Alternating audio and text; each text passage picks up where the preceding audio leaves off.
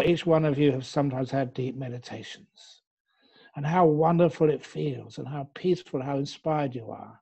Now multiply that by a thousand and imagine what it must have been like coming out and seeing the truth of all things. Not even needing to read it from a book or listen to it from a, a great nun or a great monk, but right there, right in front. And something from which, once it's seen, all the Dhamma, the thousands and thousands of teachings, all just um, unfolding from that seed of truth which the Buddha penetrated under the Bodhi tree. And after that, he didn't just disappear, but after that, he spent 45 years teaching, teaching the Dhamma. And at this point, I will pause because many of you may know that as a monk, as a bhikkhu, I'm now 45 years since my ordination. So 45 years seems to be the time when people disappear. And you say, no, Venerable Chanda, oh, do you mean I have to keep carrying on teaching? but no, no, I'm in good health and happy. So I'm not going to go anywhere, especially during COVID time. They can't let me go overseas. They can't let me go into a coffin. They can't let me go anywhere. But anyhow, for 45 years, the Buddha taught and of course, one of the great things which he taught in those 45 years was the establishing of the fourfold community. Not the threefold community of just monks, laymen, and laywomen, but the fourfold community of the Bhikkhuni Sangha. Heaps of them, enlightened bhikkhunis roaming the earth, enlightened monks roaming the earth. Laymen, laywomen in white or whatever, and just practicing the Dharma diligently. That's what he taught. That's what his mission was. And anyone who's got sort of uh, hasn't got any blinkers on their eyes, you read the sutras, you find out that's what the Buddha intended. And only when that was uh, completed, only then, only then did the Buddha pass away. He knew that the Dhamma and its manifestation in humanity. There's this great community of Buddhists, monastic and lay, male and female, were there ready to take the Dhamma forward in this world. And of course, it's lasted for so many centuries now. And in fact, when I know some people sometimes tell me, oh, this is the, the declining age of the Dhamma. I think, where on earth did you get that from? Because you see that there's monasticism, lay practice, the whole thing is growing. At least that's how I feel. I get so many invitations everywhere. Now, some I can't do obviously because of travel restrictions, but try and do your very best. And everybody else is very busy. It's amazing just how much interest, how much power there is in meditation these days even recently, I saw an article uh, in the um, the Australian Broadcasting Corporation's um, internet service that um, I think his name is Chris Hemsworth or something. Thor, Thor, the fellow who's the superhero with the hammer uh, in the the movies. He's been teaching meditation, and I thought, wow, I wonder what type of meditation he teaches. He certainly has to put his hammer away when he's sitting down quietly. But nevertheless, and I don't want to argue with him if he does the right type of meditation or the wrong type of meditation. There's certain people I would never argue with, especially if they're much bigger than me. but nevertheless, it seems how powerful and how common this actually is in today's world. Where did it all come from? It came from that time when the Buddha was under the Bodhi tree and just getting so peaceful not through talking, not through thinking, but by being still. And it's that stillness when things just they stay there and they don't work. That is the Dharma of Venerable Chanda's computer earlier on. It was still a computer was meditating in jhana or something. That's why it wouldn't work until it really had to, and then it sort of behaved and came back to life again. But nevertheless, still, that stillness is something which is so powerful in this world. We always do things, walk around, manage things. But when we have these opportunities, just to sit down and disappear and just be calm. And that energizes our mind. Now, that's one of the things when people talk about mindfulness these days. There's so many different levels of mindfulness. Everybody is sort of mindful. Even a drunk coming out of the pub before COVID closed down the pubs, they would have some degree of mindfulness and manage to somehow get home. But that's only the least, the, the dullest form of mindfulness. They have some awareness, but not very much. And the normal human being have much more mindfulness. Just they know where to catch the bus, where to get the food. But when you meditate, your mindfulness just really gets strong. And I had to give it a name, and the only name I could think of was like superpower mindfulness. That's what it feels like. Your awareness is just so powerful and so strong. Whatever you see, you see much deeper into it. But it's not just seeing deeper into things, it's also whatever you see is more beautiful, it's more attractive. The, colors are just enhanced what that really does, it just shows you the energy of your mind. And that is a good sign that your meditation is really beginning to take off. It's a sign that the five hindrances are being weakened, which is exactly what the Buddha did. Weaken those five hindrances so much that his mind was really clear, powerful, awake. And you know the word for being awake is? The word for being awake is Buddhati. And one who's been awakened is Buddha.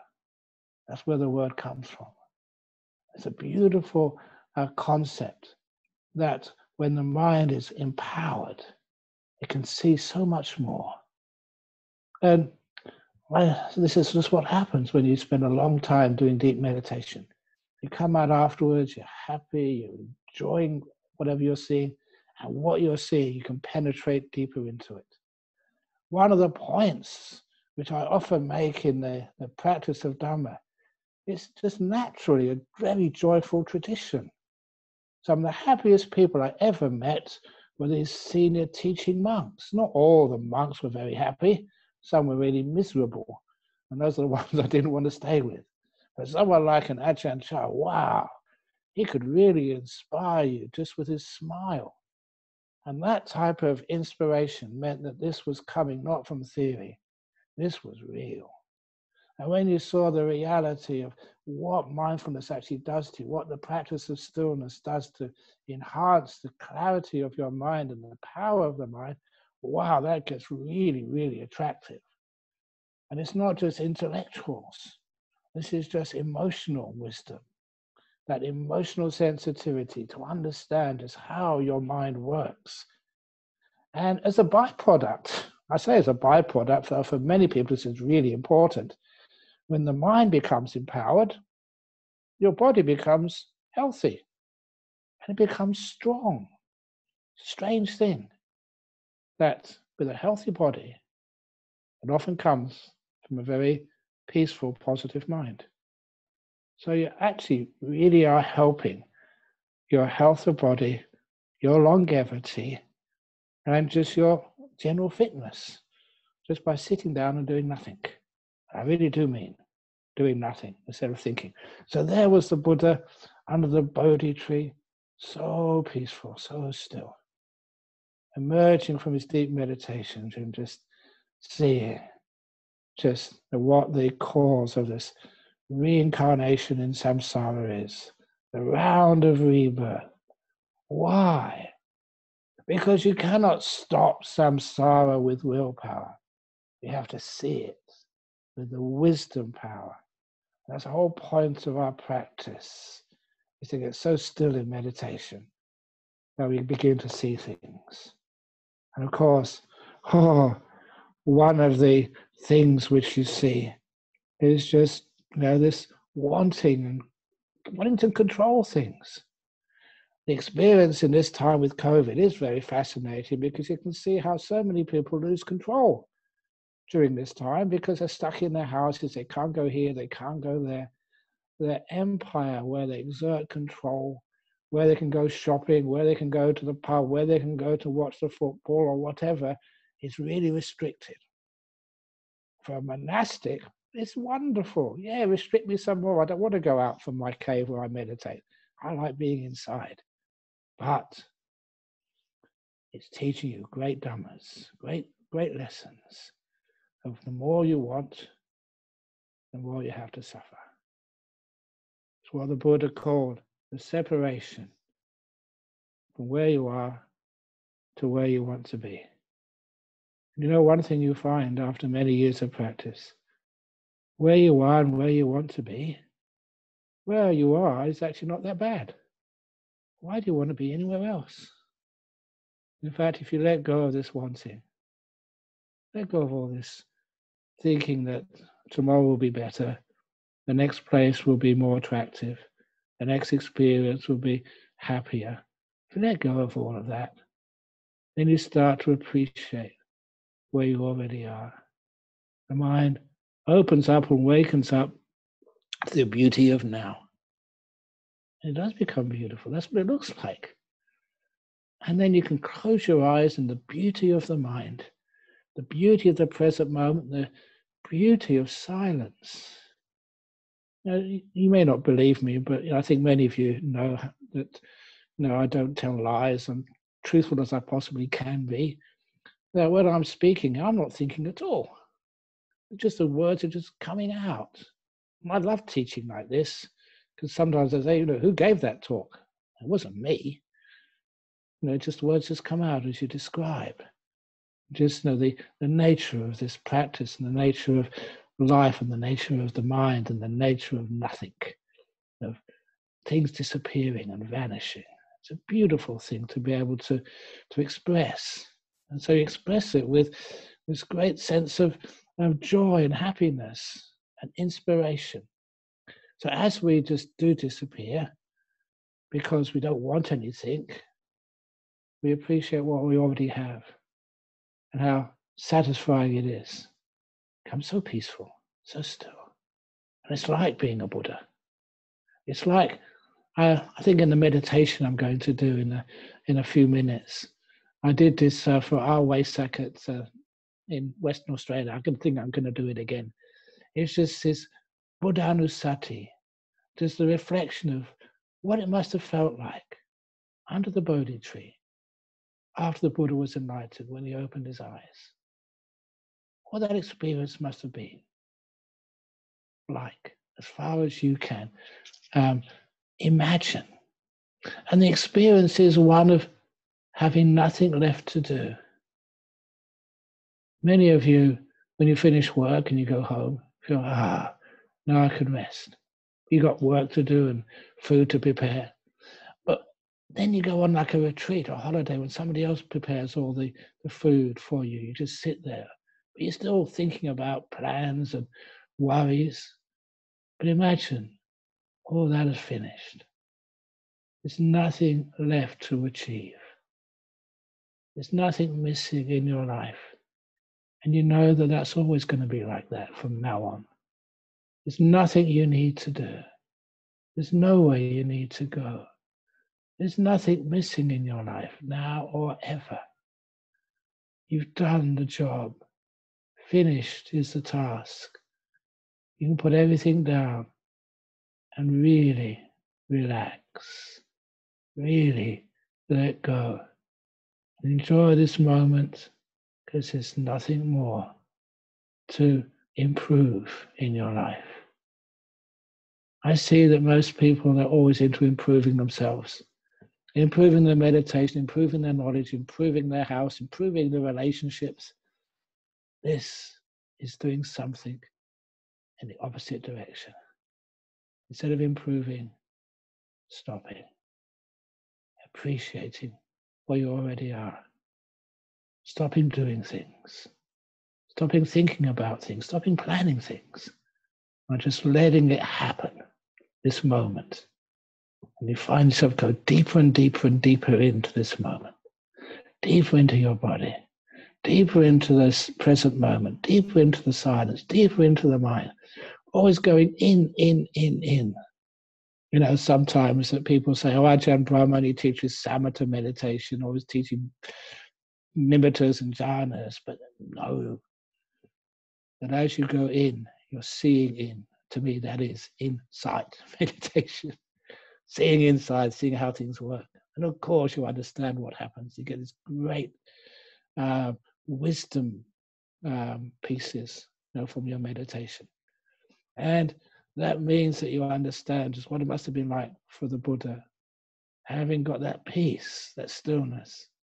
And then his old friend, his old friend from his former life when the Buddha, according to the suttas, was a monk under the previous Buddha Kassapa, Jotipala. And under the Buddha Kassapa, he also had many other fellow monk friends, one of which was Sahampati. What we hear is Brahma Sahampati. He wasn't a Brahma realm or a god, he was an anagami from the realm of the non returners. And this is what it says in the suttas. He came down after the Buddha's enlightenment to congratulate his friend. So we were monks together in a former life. I became a, a non returner.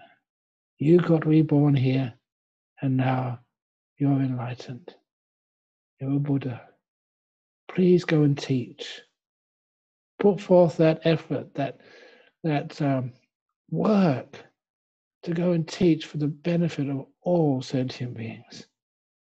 And as Venerable Chanda would know very well, teaching is a great pain in the butt. Actually, it's more a pain in the, the mouth than in the butt. But you do that for the sake of all other beings as your act of gratitude to your teacher. For me, that teacher, Ajahn Chah, he's passed away, but still I've got so many debts to him. And the great teacher would be the Buddha himself. And of so much respect for him penetrating the Dhamma and also doing all that 45 years of hard work of teaching. But of course, when his teaching career ended, when he passed away, he didn't pass away just uh, leaving more stuff to be done. He'd given this, this, you might call it the virus of liberation, which is incredibly contagious. And no one can wipe that out from the face of this earth. People teaching, showing by example, infecting other people with the Dhamma. And that is such an amazing teaching. And it's lasted all this time, and it will still continue to last a long time later. We all take our, our turn in pushing that Dhamma wheel further to extend these teachings, to inspire, to lead, and of course, at Wesak time, the main thing is to inspire ourselves and inspire others. Inspiration is a great source of mental energy. Desperation is the opposite, which makes people think, oh, it's really terrible world. But when you think about something like Wesak Day, I don't mean think about it and just start all sorts of ideas and concepts, but put that idea in your mind and let your mind play with it, not with thoughts, with emotions of inspiration, of peace, of joy, of gratitude, of all this wonderful sense you want to give, you know, to this to the um, Buddhism in each way which you can, as much as you can. And that sometimes that's what you feel. You may be tired, but it doesn't matter. You want to give some more. You may be exhausted. Ah, let's give some more. Because of great gratitude, you don't work according to rationality or logic or what other people think. There's something else which motivates you and makes you talk and and arrange and teach and get these internet things going. You do that. Why? Because of this faith in the Buddha, the Dhamma, and the Sangha. Because it's inspiration. You've got so much out of it yourself, you just want to give, to share with others. And little by little, one practices, and it's just a matter of time. I know many people are really worried and say, oh, I haven't got the jhana yet, oh, I haven't got stream winning yet, I haven't got this yet, I haven't got this. Oh, come on. Be patient. Don't want anything. Just see what is left when all that wanting has vanished. When all those goals or wanting things, you don't know really what they are. When you stop wanting those things and let go all those things, they just come to you. Weird, but so true. When you experience those things, you just sit there doing nothing, no expectations, just relaxing, just being peaceful, not thinking about anything, not planning anything, not worrying about anything. You just sit there and wow, wham bam, all these incredible things. They just arrive. And you know that you didn't do it. No more than I gave this talk. Just the words come out of your mouth. No more than I meditate, just I sit there and disappear. That's all that happens. And when you can do that totally, 100%, then all those incredible things which you read about in the books, all those things you, you work so hard for and aspired for, all going in the wrong direction, they will come to you already inside. You just open out to them and enjoy the incredible peace fulfillment and purity of the Dhamma. I know certainly when I was a spiritual seeker, that you know, before I was a, a monk, you know, you're always looking for authenticity. Many people said they knew the truth. You look to them and check them out, and there, no way. There's something about the the Dhamma. You can feel it, you can taste it, you can realize it, and that gives it this incredible sense of sense of truth reality, perfection. People ask, how can you talk about perfection in the world like it is? Go and look in the forest, my old forest simile. Every forest I've been to in the world, not one forest has perfect trees. It's very rare even to see one perfect tree. All the trees in the forest are bent and crooked and twisted and damaged. Every tree is damaged. Scars, breaks, bent. But the more damaged the tree is, the more beautiful it is. The more bent and twisted and gnarled, the more attractive it is. And that taught me a huge lesson. Instead of looking for perfection, looking for acceptance, embracing, love, kindness. And that's the path of the Dhamma. Not improving, but embracing, letting go, being still, and being really, really peaceful. So I've got half uh, uh, my eye on the clock, and according to uh, what I'm supposed to do, I'm supposed to do a guided meditation now. Is that a good idea? Very good. The thumbs up. So, wherever you are, whatever you're doing, you're sitting down on a chair. I, honestly, I don't really mind even if you're sitting on the toilet seat, because as long as your mind is respectful, the body it just does what it needs to do. And so, if you're laying on the bed or on the grass somewhere, wherever you are, just get your body really comfortable. And I'm going to do the special Buddha Buddhanussati different way than you may be used to, the um, uh, awareness of the Buddha by imagining as much as you can what it must be like to be the Buddha. Just the same way when I remember at primary school in Acton, when I was a kid, the teacher said, Stand up, put your hands out, and think you're a tree in the forest, swaying in the wind. I remember that, and it was really good. And you could feel a little bit like like a tree. But now, instead of being a tree, being a Buddha. That's so cool. So if you'd like to close your eyes, I'm going to close my eyes too, so I'm not sure what's going on on the machine. Close your eyes.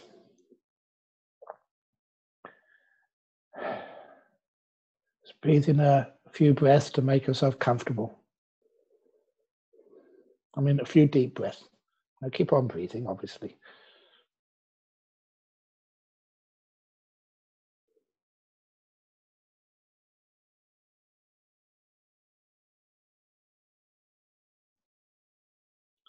And then just check your body sitting here. Make sure your legs, your butt, your back, your hands, and even your head is comfortable. It's not going to be a long meditation, maybe 25 minutes, but hopefully you're comfortable enough to be able to let the body rest and relax.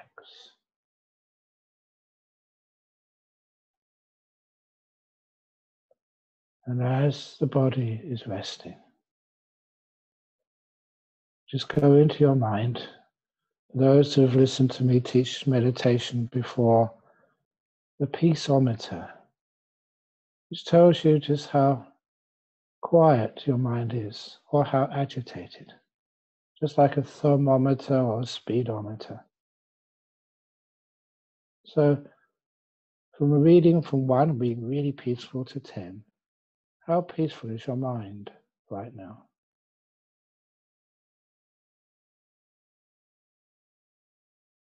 Give it a number. It's really agitated, take some time understanding why and how to calm the mind down. How just to be in this moment because all the problems and all the busyness, all the difficulties from the past, they don't live in the present moment. They live in two different countries country of the past and the country of the future. You're in another place, this beautiful island called the present moment.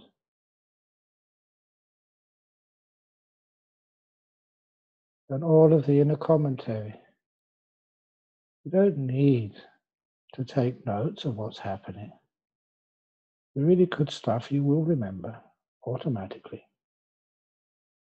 Nor do you need to give it descriptions. Because if you're talking inside, you're not listening to the Dhamma.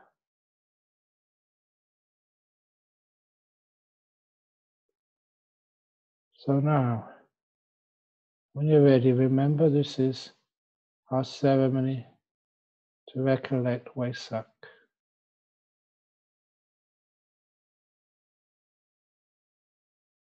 Part of which is the enlightenment of the Buddha.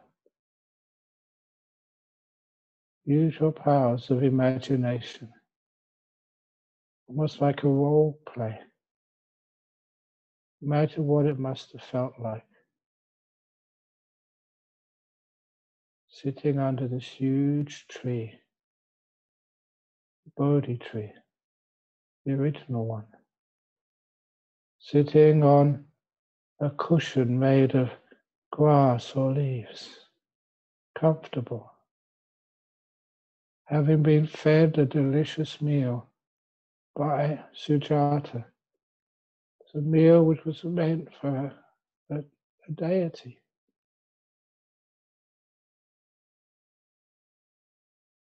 hunger satisfied, shaded under a tree.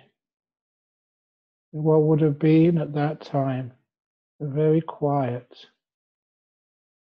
secluded park next to the river Neranjara, which in those days would not be dry, be running, running with the water coming down from the Himalaya mountains.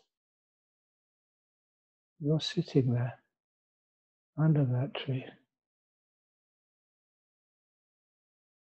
Have just in the morning of Wesak, you're enlightened, done the task, the job is finished. There's nothing more to do. You really are free from all the burdens trying to achieve something. There's nothing more you can add to what you've seen. Your enlightenment is perfect. There's no place left for craving, for wanting. There's nothing more to want. You have the bliss, the contentment, full enlightenment right in front of you, right inside of you. Beautiful loving kindness for all, which is just natural, it doesn't need to be developed. It has been developed. There's nothing to hold on to. Everything is finished. No one can take anything away from you. There's nothing left. You're free. Your peace, your contentment is real, doesn't need to be protected. It's always going to be there strong as his body is there. All the striving which we do in life, there's no need for striving anymore. Striving has reached its goal, its destination. There's no other destination. So now you do sit down, relax, you're retired really retired. You don't need to think about what to do, food. There's nothing left to do. There's peace. Peace to the east, the west, the north, the south, up and down, all around you and inside you. Nothing needs to be improved or fixed. Your job is complete. Really can relax. Let go. Be still. There's no place left for wanting. Wanting makes no sense to you anymore. Just be. No place left for ill will. Just this is samsara. We're at ease, we're free. We carry no burdens in our mind. All of those have been let go of. Nothing is left. So we're free, free like a bird in the sky, soaring on the spring winds carrying no weight, no burden.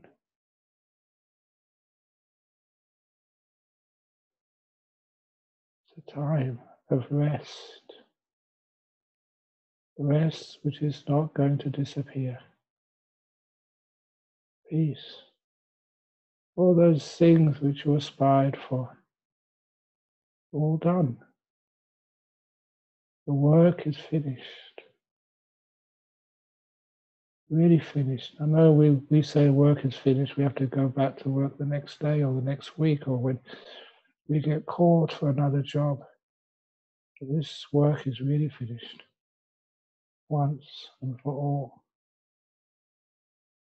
The work of peace, of insight, of understanding, incomplete. How do you feel? Just imagining what it must be like.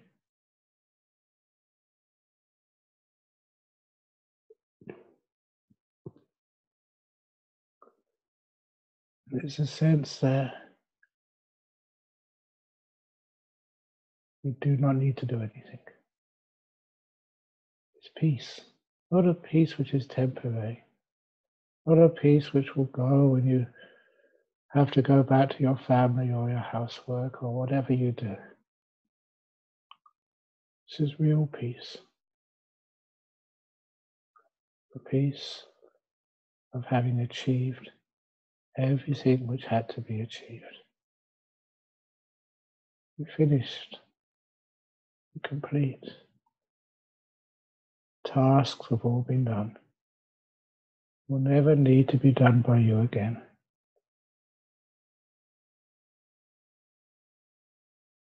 You can feel that when mind doesn't reach out for anything, stays here and goes inside. It's like what we call, or what the Buddha said, a taste of freedom, vimukti rasa, a taste of enlightenment, the joy of enlightenment, sambodhi sukha. What does that feel like? You imagine this. And soon you get so quiet, you can't even think. Just like when you're listening to, when I was a layperson, listen to great music. I couldn't say anything or think. Was so satisfied and fulfilled with the peace, tranquility, the inner satisfaction, not needing anything in the whole universe. Feel like you're just the Buddha sitting under the Bodhi tree. Not moving because there's nothing to move towards, not anything to move away from.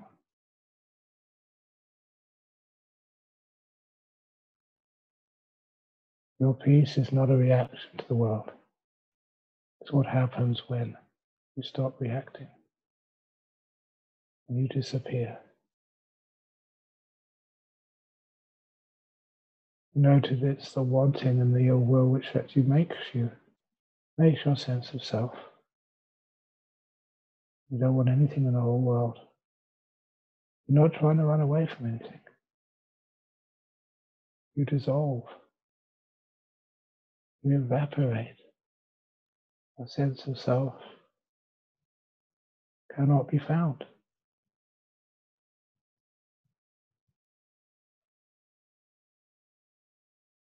To be, you have to want.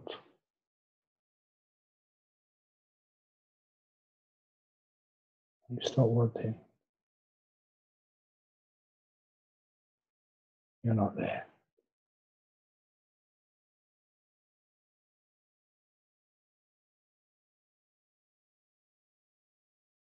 Task has been complete.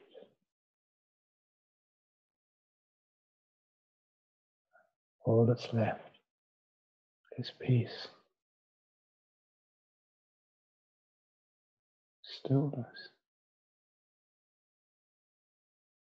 contentment. Stillness gets deeper and deeper. And the contentment more delicious, more satisfying. And the happiness happiness of peace, most delicious form of happiness. Sit here.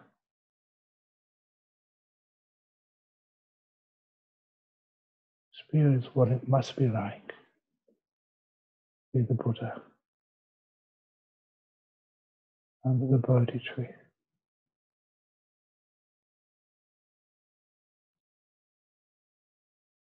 for the first Vesak.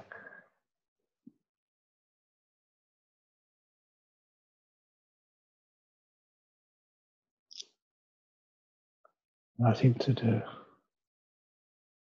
nowhere to go.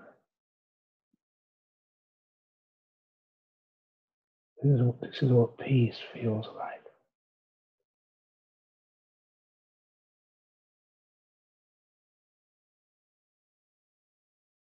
We don't give it a name.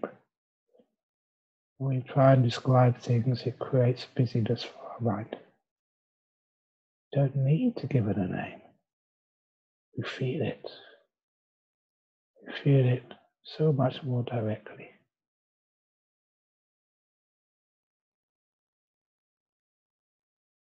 Like a wind blows past. Put a sat out in the open. We're probably inside. Imagine a wind passing by your face. You don't ever know where the wind comes from. You never know where it goes to. You only experience it in this moment as it passes by your face. All life is like this.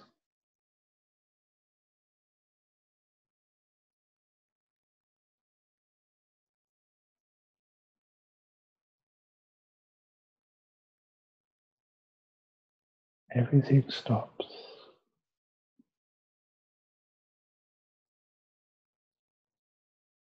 In peace, movement vanishes.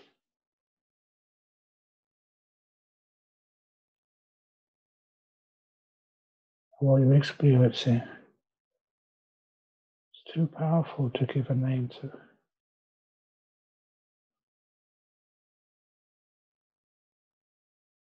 Just experience and know,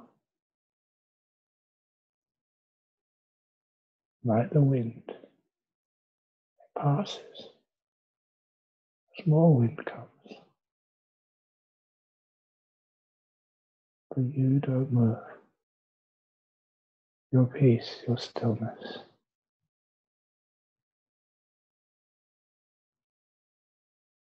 Doesn't attach to things. It's born of letting go, born of being free. All that struggle, struggle of beings in samsara, trying to achieve, get some safety, security, happiness, whatever. Trying to get praise from others, relying on others to tell you what to do. Now you don't rely on others, you don't rely on yourself. You're enlightened, there's nothing to do. There's no wanting. Oh, no yearning. Those all finished. You're at peace. It's like the Buddha under the Bodhi tree.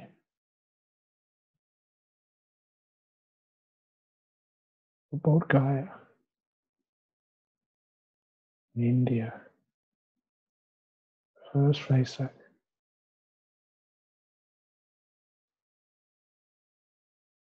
The distance between you now and then is not that far. The more peaceful you are, the closer you are.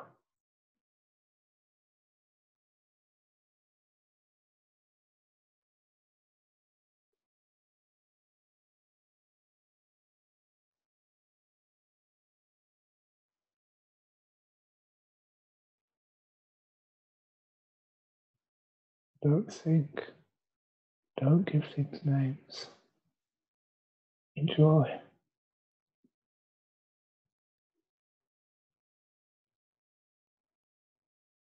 Taste the peace as fully as you can. Savor it.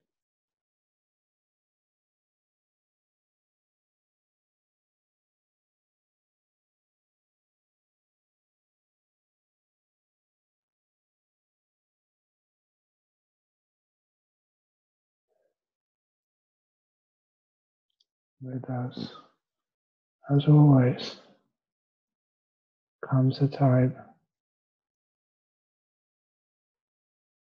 when we come out of that stillness, even though I'm sure you don't want to, I don't want to. Come out back into your room, to your body, into what people call today. But before you open your eyes, just to know how was that? How peaceful, how beautiful was it? And how relaxed is your body? How at ease the aches and pains of a physical human body. And the mind has touched some peace.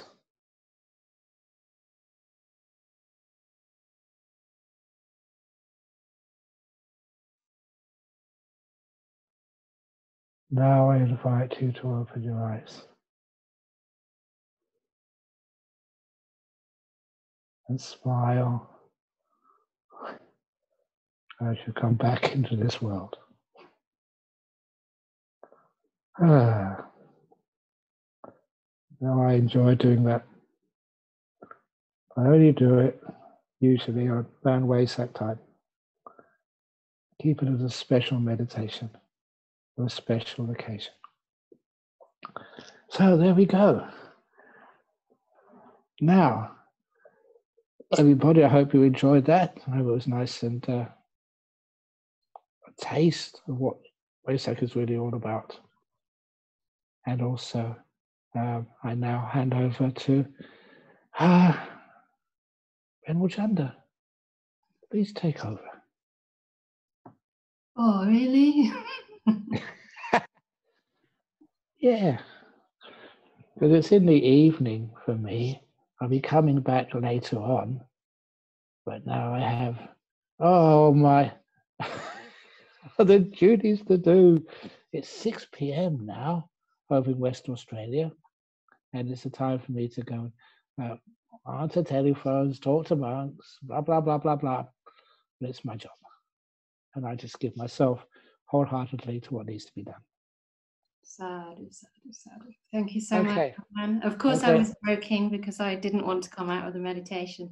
yeah, you, look much, much happier yes, yes. that, yeah, very good. Computers and Excellent. meditation are at two different ends of the spectrum. Yep.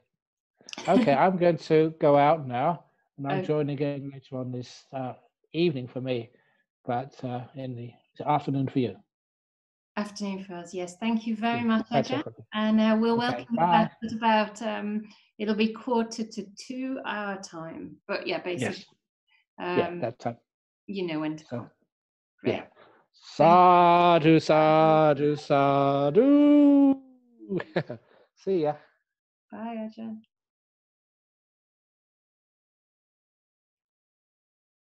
Very good. So, I don't know about you, but I don't feel like saying anything now. but this is officially the time for any um, discussion that we may want to have. Uh, you can really take your time about it.